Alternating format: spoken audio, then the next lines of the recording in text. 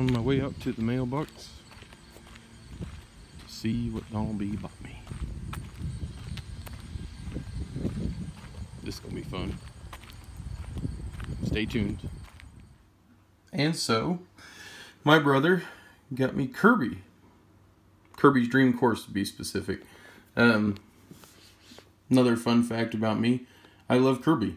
Um, I played it a whole bunch growing up and everything.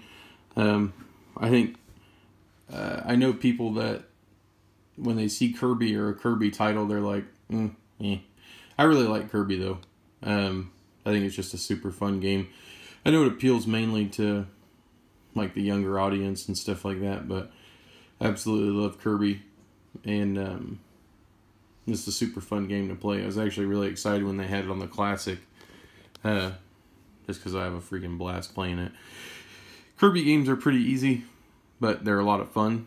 Like, you know, they're not like some of your other games, like not nearly as high impact as like Contra and stuff like that. It's pretty laid back. I think that's why younger kids like it and people like me that suck at video games. But yeah, my brother and I did this thing. I'm sure you've seen on his other video where we kind of picked a price point and bought each other a video game. And uh, I got him Doom, and he got me Kirby's Dream Course. Super cool. It's in like absolutely perfect condition. And uh, there's my Space Invader. I haven't taken him out of the box yet. Mainly because he's in that clear plastic box too. I don't know. Just haven't taken him out yet, but I probably will. But thanks again, Dolby.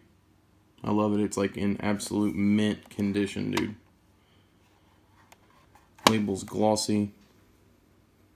Love it. Thanks again.